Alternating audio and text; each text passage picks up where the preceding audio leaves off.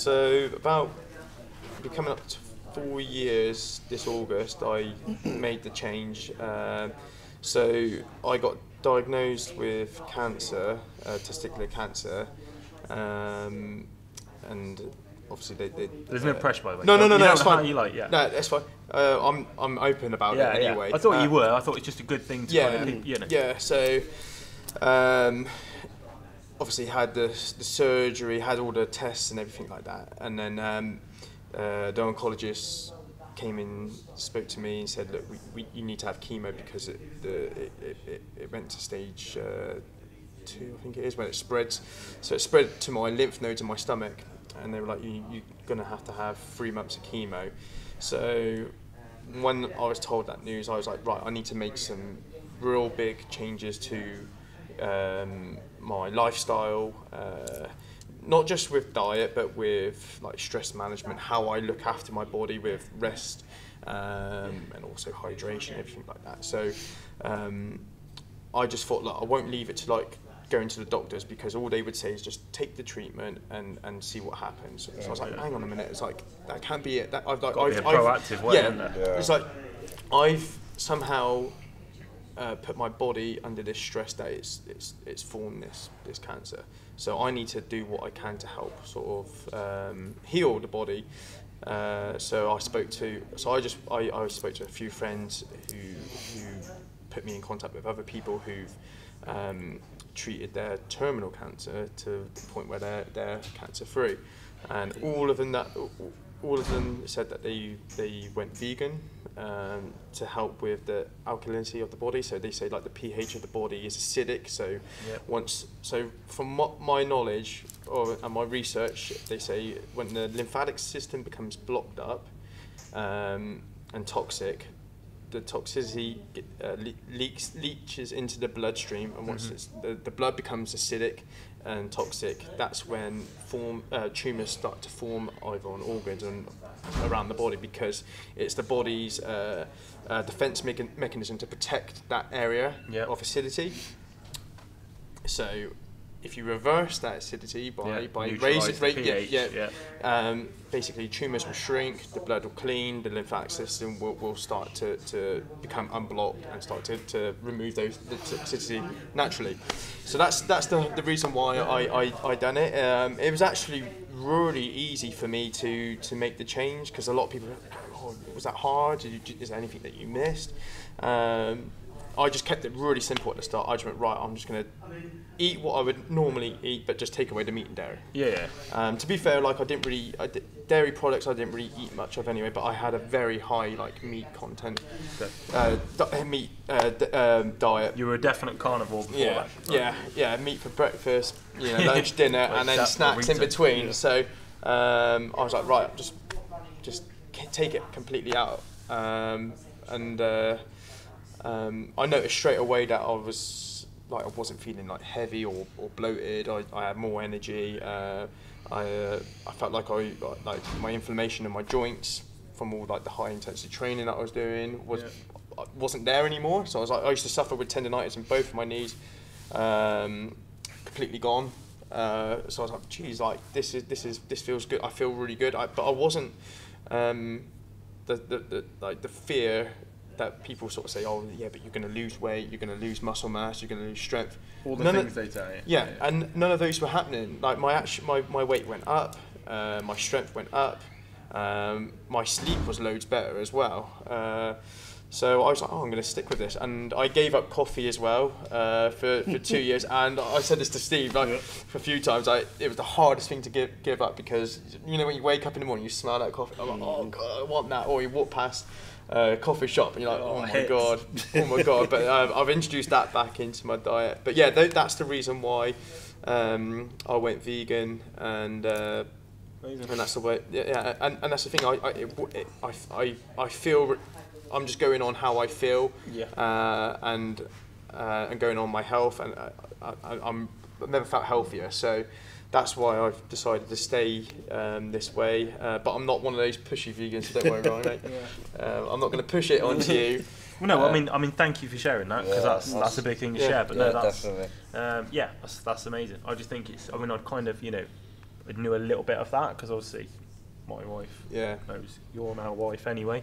So I knew like a little bit. You said of I was the- like, a little bit of the backstory, but obviously, yeah, I just thought uh, that was amazing. And most of the time, when you, I don't know, most of the time in this industry, sadly, when you talk to somebody uh, who's gone through a big nutritional change, mm. there's normally a crummy reason behind mm. the nutritional change. So actually, it's really good to chat to somebody and go, do you know what, like zero judgment. Just we, we know this is your nutritional approach, but what's the rationale?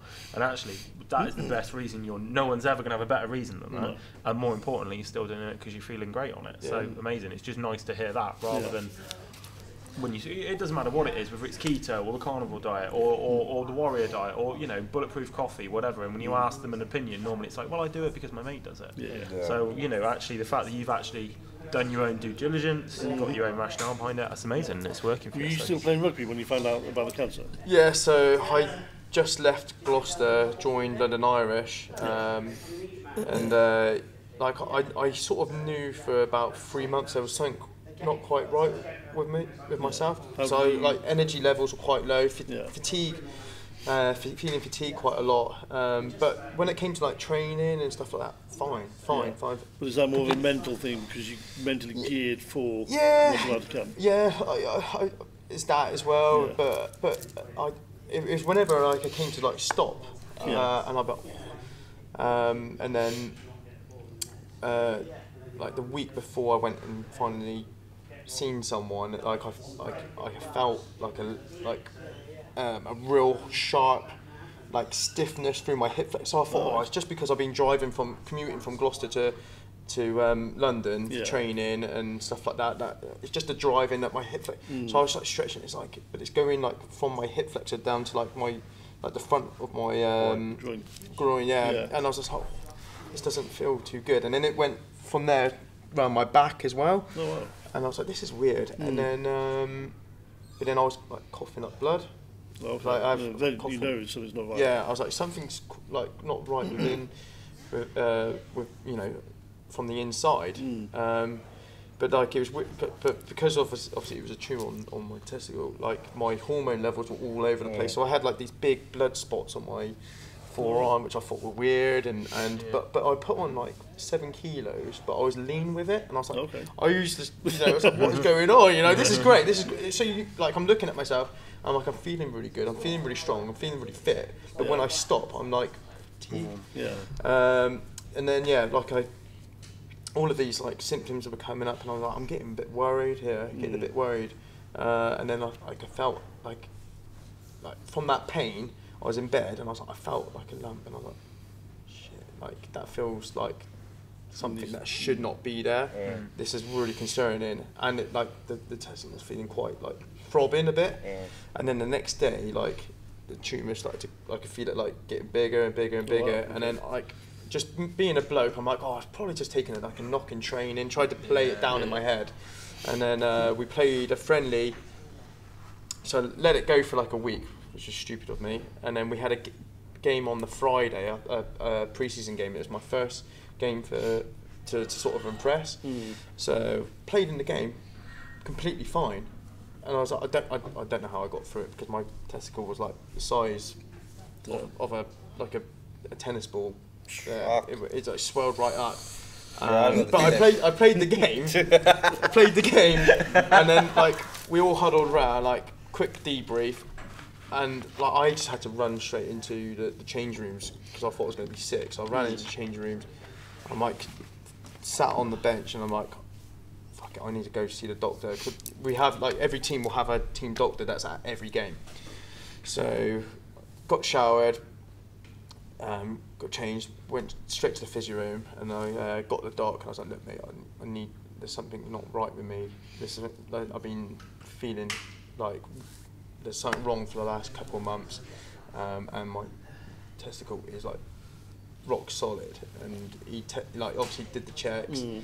and he just he, he was just honest with me. He's like, look, we need to get this seen to eh, like as soon as possible. So um, drove from uh, the London Irish training ground back to Gloucester. I rang my GP, uh, who used to be uh, a doctor for, for Gloucester on match day, and um, uh, I was like, Julian, I've like we think we, I might have Hmm. something seriously wrong with my. And he's like, come and see me first thing in the morning. So I, went, I drove to his house the next Oh. morning, and he was the same. He's like, Yeah. he's like, this is concerning. He's like, I've got, I'm just going to be honest with you. This is very concerning. Um, and then Monday tests, Tuesday confirmed. You got diagnosis that quick? Yeah, Well, so they did. Yeah, didn't they did. around Yeah, they, they did all my bloods. Uh, they did bloods, uh, ultrasound, and then um, confirmed it on Tuesday. And then I was back in again on Wednesday for CT. Um, surgery on Friday. Oh wow. After uh, just before the Not surgery on the, yeah just before the surgery on the Friday, they told me about it. uh, Like it spread to my lymph nodes. Um, and uh, and that, that, that that's where like I like because I had my partner with me, Mm. Rogan, and I was like, and she was like, very obviously panic station. Was So what very was your upset. mindset? Were you worried? I was were you I like, like I knew there was something wrong with me, so Yeah. I was pretty like you know the what it is, doctors were get like, "You're all right about this," and I'm like, "Well, at least I." The, the, the good thing is, is that I know this. Yeah. Now, now I know this. Now I can do something about it. Yeah. Yeah. So I'm always like, I think it's just the rugby mentality. It's like, right, you, you get in, like you get injured, right? How the process is, right? Surgery, Yeah. and then and then do everything Yeah. right to get back. Yeah. And then that's that is sort of the mindset I had. It's like I've known that I've known for a, a while now that there's something not right with me. Mm. Um, now it's t- it's time to like to like look at my lifestyle, and I was like, fuck, you know, I'm eating loads of processed shit, taking all of these supplements. I'm probably way over caffeinated. I'm stress stress levels are through the roof. I'm not sleeping enough, and it's just like I need to just stop all of this shit. I need to get rid of stop all of this stuff. That's that's making like putting stress on the body. It's making me ill, uh, and start putting stuff in place to, to start healing myself from inside out. Um, and I've got like quite a stubborn like mentality as well. So if I'm going to do something a certain way, I'm gonna I'm gonna stick to it and, and, and, and buy into it and, and do it my way. Um, so the, the doctors were like, "You all right? You, you know, we had people when we get this news, we had Yeah. people obviously breaking down, and, and I was just like, I was like, okay, like It's okay, what it and is it's- kind yeah, yeah. I know. I know, I, I, I, like, I was just glad that I knew that Was I there knew a the peace result. of mind that you knew. What Yeah, I knew. The thing is, like, I knew there was something wrong. Yeah. But to be have that Now you confirmed, can hit, yeah, yeah. I was like, right now, I, how am I going to take power back? Yeah. So how am I going to, going to take control of this? Because I don't want to put my, I don't want to put all of, all of my uh, trust into these doctors that are just going to address it with surgery and drugs. Chemicals, yeah. Because it doesn't address the root cause. um, I was like, right, I need to, I need to seriously look at myself. Um, I seriously need to like to, to sort my my lifestyle out um, to heal my body. Um, and that, and that's what I did. I was like, right, I'm going to take control. I'm going to take that power back, and that's why like I. I I took that's and uh, with all my family living down in Cornwall, I said the same things to him. I was like, "Don't worry about me. Yeah. Don't worry. Don't." I was like, "You don't need to come up and see me every week." I was like, "Just let me get on with this on, with, yeah, with yeah. the way I'm going to do it, and I'll be fine. Yeah, funny enough, I've I've heard similar from like other professional sports people that that mentality seems to be prevalent. Uh, I think you needed to get to, to be a professional anyway. If you want to get to a certain high level, you need that mentality of that's my goal. I'm going after it. Mm. I don't care what what obstacles in my way. I'm going to just smash them. Yeah, and like for me, it, I nobody questioned me about it. They No. just and that's I think that's what what helped the most as well. Like the Just support, crack on, yeah, the just let you support group was like, Yeah. you got Dukey, you got you do it the way you've got to do Yeah. it because no one else is in my shoes. I, I'm the one. Yes, Yeah. it's my battle, it's my fight, and all I want is support. Yeah. Yeah, so and did your team that- know? team, family, Yeah. friends. Um, but the one person who, who who was like, "Don't do that. Don't worry about it," was the oncologist. All right. So me and him fell out. a- well, like, Said uh, what? Don't go vegan. He was like, "Don't worry about it." He's like, "Just just just take the just take the just just ha- uh, take Have the chemo. take the chemo, Yeah. and then and see if that works." Shit. And I just went, "No way." Yeah. I was just like, what? I was like, what, you know, I was like, surely I need to detox my body. I've got all these Wow. toxins and shit in my body. I need to just, I need to get rid of it. I need to remove it from the body, and then the healing process can start. Yeah. Um, but yeah, I won't get into No, too much. fair But, but but but the main thing is, Did you is send that, her in? yeah. yeah, I could have done. Yeah. If I seen if I see him out in the street, I'll, Yeah. Struggle to rein it in a bit. Yeah. yeah. But that's the thing. Like the main thing was like my support group. Yeah. um, was amazing. Um, and uh, yeah, th- and those people like got me through it.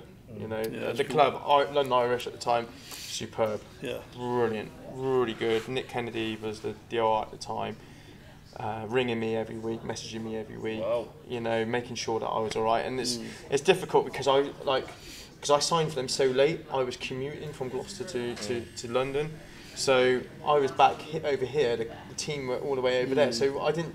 It was really it was tough because I, I wanted to be a part of the team, but Yeah. because I was going through my I was like, I can't even go into the, I can't even go into the club and do a little bit of training when I feel good and stuff Mm. like that. I was doing all my own training as well. Did your training change? So Did your training change when you were training yeah, I, so the chemo, it fucks you up. Yeah. So like energy level, strength level. So I would, I would literally go in and train for like 20 minutes. And that was it. You know, Right. just try and do what I can. Yeah. Get in, get out. Um, a lot of like walking and stuff like that. Yeah. Um, especially after like my big cycles, I would be wiped out for like three, four days. Yeah, and then, and then and then it will slowly come. When I slowly come out of that funk, I'll be like, right, I feel alright, and I'll just do body weight training with the TRX and stuff like that, Mm. and then and then build the weights back into it. But it was crazy. In that three months of, of treatment, I was like a sh- at, right at the end. I was like a shadow of my like former Yeah. self. Um, so it was a, It's a bit like when you dieted for volleyball, isn't it? Not same, but you kind of like you're so fucked. Nothing left. Yeah. Yeah. No, mate, it's unreal It's, that it's you not, it's not the same as that you, obviously that you the fought but yeah, yeah. No, like massive, massive respect for everyone that listens to this. I think the same, like you know, yeah, the fact that you did it, it's amazing. Obviously, you know, testament to. Yeah. To like you say, the support network and those people Yeah. that stepped up when they needed to step up to be there with you and kind of, you Yeah. know, Well, like since since like it's happened to me, there's been, geez, a, a handful of, of other pro rugby players who've, who've you know had the bad news, um, but all of them have contacted me. So like, nice, it's been isn't it? nice that I can go look. This is how I done it.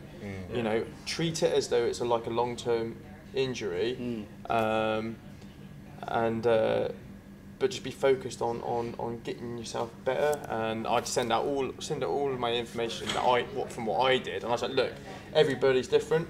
You know, every yeah, like I, I had a physio who would say he wouldn't treat the injury, he'd, he'd treat the player who's injured. If you know what I mean, because every Yeah, yeah. player will, will, will will react differently to an injury. So it's the same thing with the illness. I was like, look, here's the information that I I I uh, used. Used. Um, There's it's your there. start point. Yeah, yeah. Like use what you feel is going to work for you. Yeah. Uh, I'm not going to tell you to go vegan or cut meat completely out your diet or whatever. You know, um, it's like you've got to do what you feel is right for you. Um, and a lot of it is like a lot of them that take away like the mindset thing is like doing stuff like to keep their mind off off the shit that they're going through and, and just trying to stay like positive and focused. Like mindset is definitely I always put it right at the top. Yeah. Mindset is key because the mindset will get you through it. Mm-hmm. Um, because if you've got that negative mindset and that, oh, Right. yeah, yeah, the straight away you're, kind of thing, yeah, yeah. straight away you're you're you're you're, you're going backwards lost. rather than forward. So, um, but yeah, it's, it's you know in, in a way like I, I feel like yeah that sh- that that shit happened to me nearly four years ago, but I can use that experience to help others and, and help educate others as well and um, and uh, you know and be uh, like someone you know if someone wants to wants to needs to support they can like I always say look here's my number here's my information just give me if you want to just in the middle of the night you want to just drop me a text drop me a text I said Yeah. or if you want to vent give me a call or if you want to ask me questions I like don't hesitate just give me a give me a bell and uh, we can have a chat about things mm. so it's, it's nice that I can um, use my shit experience for uh, for something positive, positive, yeah. yeah yeah Yeah, it must be good for them to know that you've been through it, you know Yeah. what's going to happen, you know what There is you'll light on the other side kind Yeah, of yeah, thing, yeah. And like, I find that, we're, we're, especially with the rugby boys, we're all cut from the same cloth. Yeah, we're all The- the- alpha, the- alpha males as well, for starters. We're all stubborn. No one wants to ask for we're all we're all stubborn, but then we mm. have that like quite that we had that mental resilience to go right. Yeah, it's going to be fucking tough, Yeah.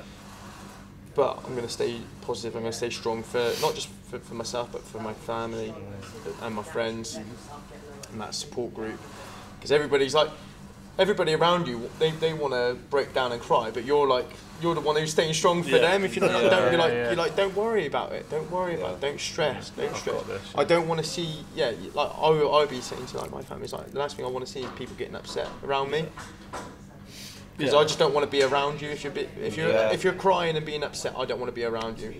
So just take the piss out of me. My dad, Yeah. my dad called me Uncle Fester because when I lost all my hair, lost, you know, and there's- and that's the thing is like, I'd rather have someone give me some banner, give me some shit, you know, yeah. and have a to laugh. feed off Yeah, yeah, yeah. Yeah, we get called Uncle Fester all the time. Yeah. But I, say, I shave on purpose. I have got hair, honest. It's an afro, isn't it? When it grows out, it's curly afro. Oh, it, it goes it's curtains, proper curtains. Strong curtains. Yeah. Uh, amazing. Yeah, so like I say, Yeah, thank you for sharing man. that because that's, Thanks, uh, yeah, that's a very useful story for a lot of people to hear. Yeah. And that's um, yeah, it's cool. And it, like you say, it gave you what you needed to, and you've used it, and you're still using it, and now you're in an industry you've never been happier. It's good. It's a really good success story, mate. So